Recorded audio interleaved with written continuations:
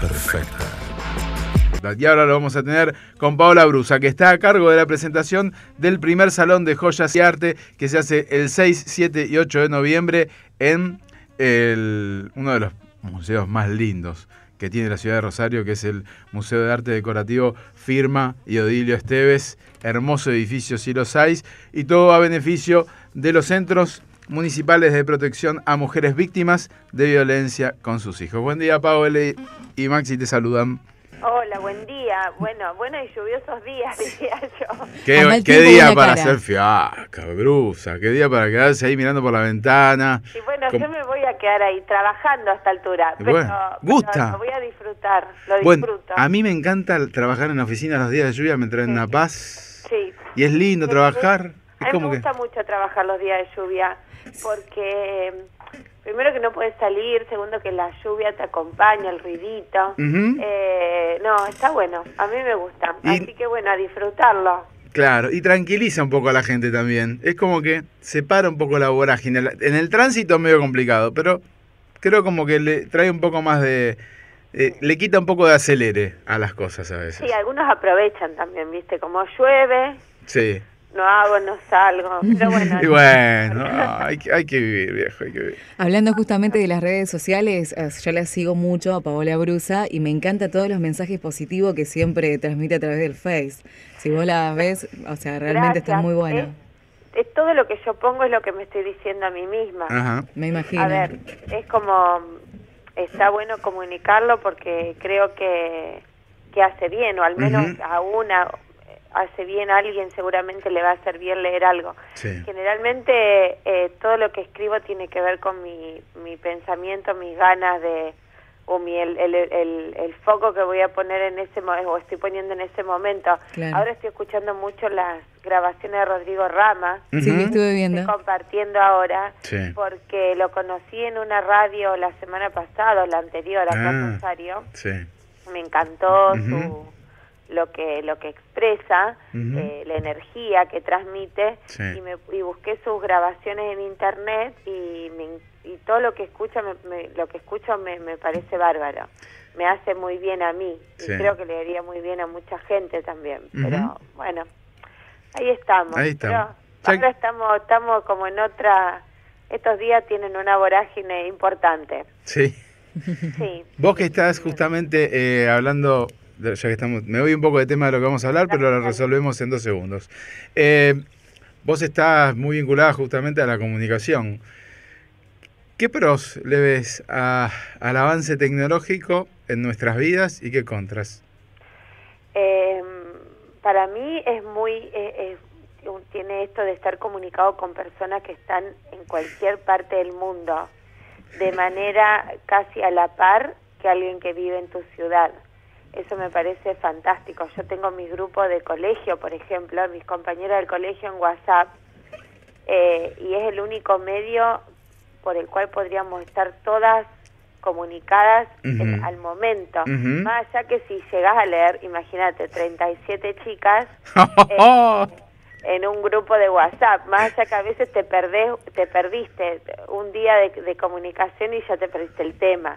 Pero, pero bueno, recién ahora estaba leyendo, eh, estaba, me, me distraje 10 minutos leyendo una de las chicas que hablaba de Córdoba, otra que está en Europa viviendo. Eso para mí tiene la tecnología maravillosa, igual que el Skype. Em, lo que sí me parece una gran contra es reemplazar, por ejemplo, los mensajitos de WhatsApp, que hay gente que tiene como un prejuicio que de mandar mensaje en lugar de llamar. Eso me parece que uno, eh, ahí está el problema, es cuando vos reemplazás el llamado telefónico por un mensaje de texto.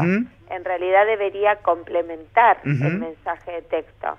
Digo, vos podés no sé, a una amiga, decirle hola, buen día y mandarle un soncito de regalo, pero eh, porque tal vez no la llamás todos los días por teléfono a las 8 o las 7 de la mañana a un amigo, pero si vos mandas un mensaje o a un novio, un corazoncito, eso no, no, no debería quitar el hecho del llamado telefónico y el encuentro. Eso es lo que veo negativo. Es cuando alguien usa el WhatsApp o el mensaje de texto como reemplazo de una conversación telefónica y ni hablar de una reunión o de un encuentro personal. Ese es el defecto más grande. Este, digamos que hay que entender para qué sirve cada cosa y darle el uso que corresponda. La coexistencia, coexist. Ahí está, la coexistencia de las cosas. Bueno, y como una cosa lleva a la otra, eh, yo justamente a Elena Medina, que fue ayer su cumpleaños, le iba a regalar una joya y quería pasar por el, por el salón de joyas y arte que, que están presentando. Quieren esperar, lo que ella puede hacer es ir a elegir también, ya que estamos. Anda, vos arregla con Paola, Elena, que después yo vemos cómo lo hacemos. Ella, ¿eh? entonces.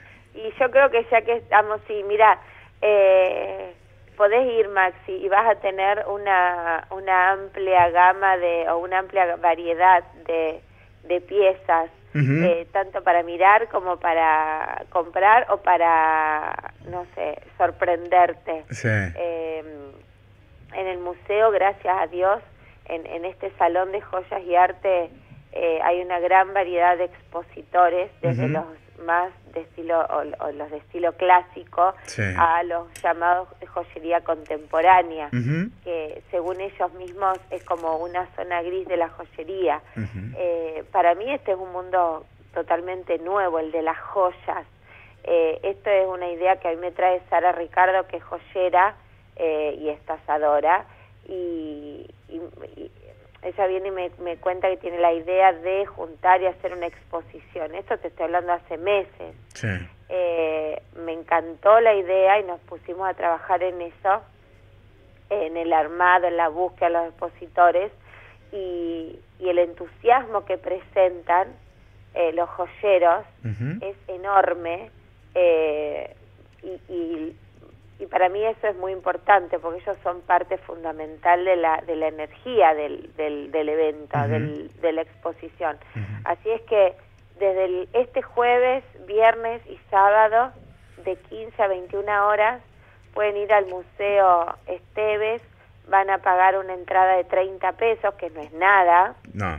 No es nada. beneficio este de los, como bien decías vos, de los centros para para mujeres eh, para mujeres e hijos en situación de violencia eh, no es nada pero tampoco digo pero ya que podemos eh, eh, sumamos un granito de arena y es lo que estamos invitando también a la gente a, a, a, sumarse no solamente porque les guste la joya sino también porque estarían colaborando de una forma que prácticamente no se siente con, con, esta gente. Así que bueno, van a haber un montón de expositores eh, y después van a, van el que algunos de ellos van a obtener a la venta algunas piezas y así que bueno, nada, ya, ya estamos en la cuenta regresiva. Ahí estamos. Bueno, también invitamos a la audiencia, más allá de eso, quien no conozca o quien quiera volver a entrar al Museo Firma de Odilio Esteves, es uno de los inmuebles mágicos que tiene la ciudad. Es un lugar para... Además, uno le pasa por la puerta tantas veces, tantas veces, y tal vez eh, no, no reparo, no conoce lo que, lo que hay ahí adentro, que realmente bueno, te cuento, eso es una, algo que sí me estaba olvidando, que está bueno que lo, que lo recuerdes. El Museo Esteves es mágico, como bien decís vos. Yo creo que uno de los museos de arte más lindos del país. Sí. Eh, en su apariencia cuando vos entras parece chico, pero no es nada chico. Lo que pasa es que, claro, está decorado tal cual eh, la época original, digo, no se movió nada, están los muebles, las ubicaciones de los muebles y demás, eh, y, eh, los ambientes, alfombras, cortinas, pinturas, muebles, camas, sillas, está el comedor, el, em, hay una colección de abanicos divinos, eh, bueno, eh, esculturas de, de todo tipo. Hay, hay realmente, y lo que vos decís es lo que a mí me llamó la atención, que hay gente que no sabe dónde está el museo, eh, o por ejemplo, a, eh, o, personas que fueron con el colegio y no volvieron, eh, a pesar que el trabajo de, de, de la administración, de la dirección del museo, es increíble porque están, te digo, el trabajo de restauración que hacen sobre algunas, sobre las piezas, eh, la administración, ellos son muy celosos, aparte del cuidado de, de cada sillón, de cada cuadro, de, de, la ubicación del piso, de, del arreglo de, las aberturas, porque aparte todo eso tiene unos marcos de madera tallada, una cosa increíble. Entonces cuando a mí alguien me preguntaba en estos días tres motivos por los cuales ir a la, al salón de joyas, yo le decía, bueno, por un lado, porque van a ver un montón de expositores eh, que van a exponer sus piezas. Por otro lado, eh, digo, y vas a recrear tu vista, si te gusta, para mirar.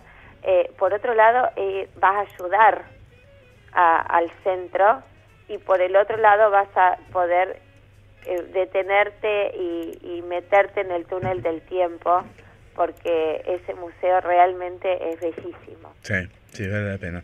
Bueno, Pau, gracias por el contacto y entonces recordamos e invitamos a la audiencia. Los espero a los dos en el museo este jueves, viernes y sábado de 15 a 21 horas eh, para que vengan a, a conocer algunos y a y a otros se van a sorprender con los expositores y con las cosas lindas que va a haber para, para mirar y también para comprar. Así estaremos. Bueno. Gracias. beso, buen domingo. Buen domingo para ustedes. Adiós. Estuvimos en contacto con Paola Brusa, 6, 7 y 8 de noviembre, el primer salón de joyas y arte en el Museo Firma y Odilio Esteves. 30 pesos la entrada a beneficio de los centros municipales de protección a mujeres víctimas de la violencia con sus hijos. Las mentiras, mentiras son, pero aquí las hacemos realidad. La mentira perfecta.